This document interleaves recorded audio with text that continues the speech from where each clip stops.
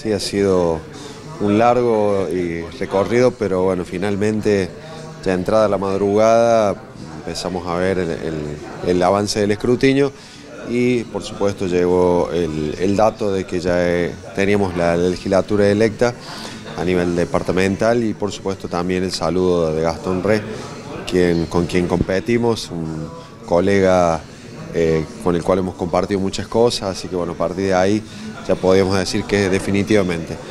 Pero el real impacto eh, terminó llegando como a las 7 de la mañana en el escrutinio eh, definitivo, así bueno, felices y contentos porque la verdad que el mensaje en las urnas ha sido muy contundente, extremadamente contundente, un mensaje de cambio, de una nueva forma, Llevamos este mensaje durante casi dos meses por cada uno de los 21 pueblos y ciudades de este departamento.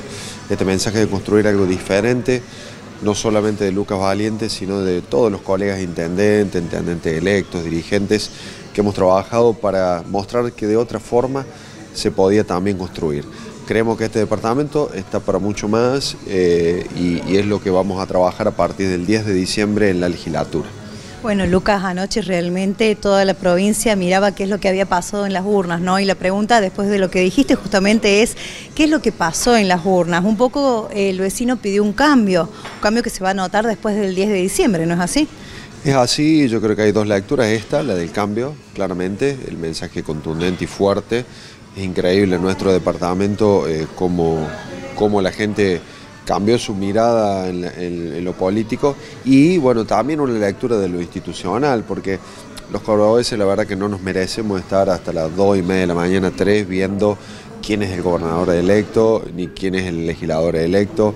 Cuando hablamos de institucionalidad y cuidar la democracia, que tanto lo pregonamos eh, durante todos estos días, de esto se trata porque eh, nos cuesta mucho llevar la gente, que vaya la gente a votar, que se comprometa, que participe.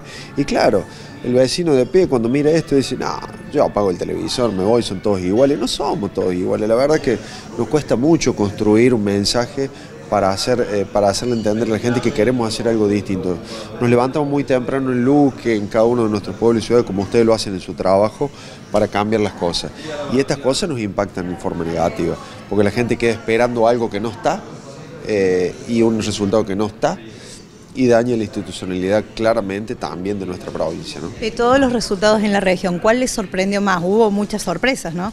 Sí, bueno, empezando por un cativo, eh, donde Nicolás Filoni ha sido el intendente electo con un gran respaldo popular y yo también tuve la suerte de ganar en un cativo eh, y bueno, la verdad que ese es, el gran dato de la jornada después del año 91 que Francisco Fortuna había sido elegido intendente siempre hacemos por Córdoba, había reelegido en la Intendencia.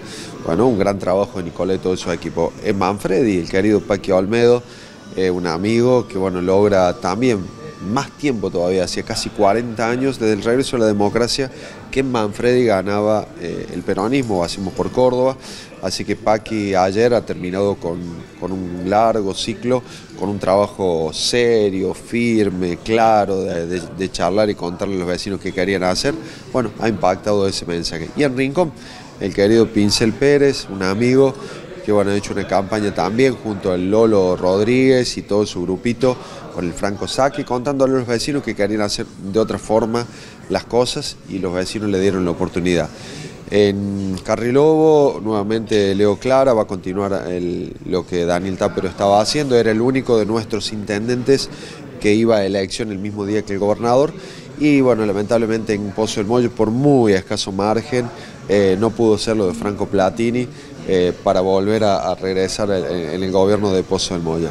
En el resto de los pueblos y ciudades, sorprendente lo de Villa del Rosario, un respaldo popular enorme con el excelente trabajo de Ricardo, de Diego, del Topo, todos trabajando para poder llevar este mensaje de cambio.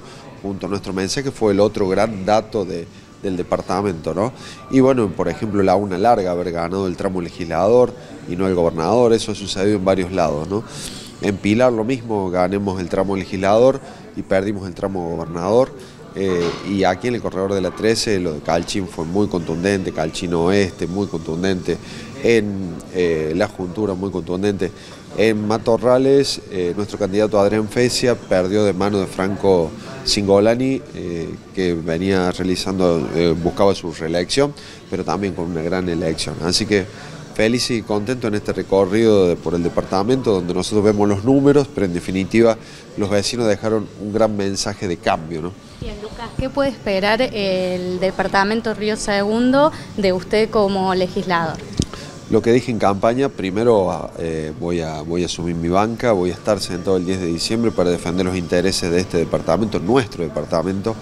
Eh, segundo, voy a trabajar al lado de las instituciones, al lado de las fuerzas vivas, al lado de los vecinos, al lado de los intendentes, sea el color que sea, a mí no me importa porque nosotros vamos a gobernar para los vecinos de Río Segundo, como lo hacemos en Luque, lo vamos a llevar eh, al lado de, todos. Voy a recorrer mucho este departamento como lo he prometido, no sé si en la casilla o cómo va a ser o en la bicicleta, pero bueno, la verdad que, que voy a estar al lado de cada uno de ellos y vamos a llevar propuestas propuesta como la que ya he anunciado, que una de las primeras seguramente será generar el plan estratégico, que sea ley, que cada municipio, pueblo y ciudad haga su plan estratégico, que piense su pueblo a 20, a 30, 40 años, que le permita saber cómo crecer, hacia dónde crecer, qué servicio prestar, qué le hace falta al gobierno nacional, qué le hace falta al gobierno provincial, es clave. Cuando hay coordinación y conocimiento de eso, crecer no es fácil, pero es coordinado. Y es lo que necesita nuestro departamento porque claramente el potencial que tiene nuestro departamento es enorme, lo he recorrido, he recorrido las empresas, he recorrido los medios, he hablado con la gente, he hablado con las instituciones, pero faltan coordinar cosas y eso sí, con un legislador presente se puede llevar adelante y es lo que voy a hacer. Lucas, ya a nivel, eh, ya a nivel eh, provincial la pregunta es, eh, hubo y se registraron aparición de nuevos espacios políticos, ¿no? Estos nuevos espacios en muchos lugares se marcaron y muy presente. ¿Cuál es tu punto de vista considerando de que formas parte de uno de los partidos mayoritarios históricos también del país? Bueno, sí, la elección provincial fue muy polarizada, ¿no? Realmente los dos candidatos se llevaron absolutamente todo, todos los, votos. Apareció, bueno, la Libertad Avanza con intenciones de mostrar algo nuevo, está en discusión si logra una banca junto con la izquierda ¿no? y García del Orrio, eh, pero realmente ha sido una elección provincial muy polarizada.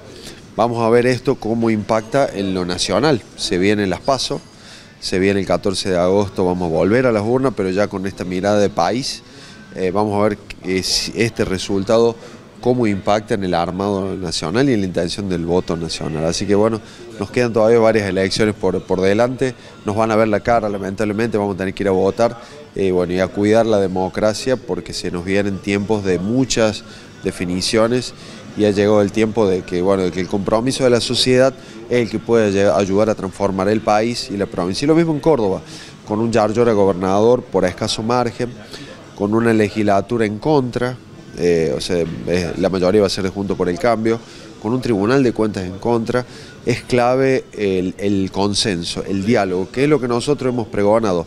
Y estoy convencido que Yarlora eh, va a ir por ese camino, así que vamos a tratar de interactuar para sacar adelante la Córdoba que, soñamos. Anoche en el discurso ya se vieron algunos matices de parte del gobernador electo, eh, por el cual creo que el camino, si lo sabemos transitar entre todos, tiene que ser de construcción. Y si se construye, se solucionan los problemas los vecinos.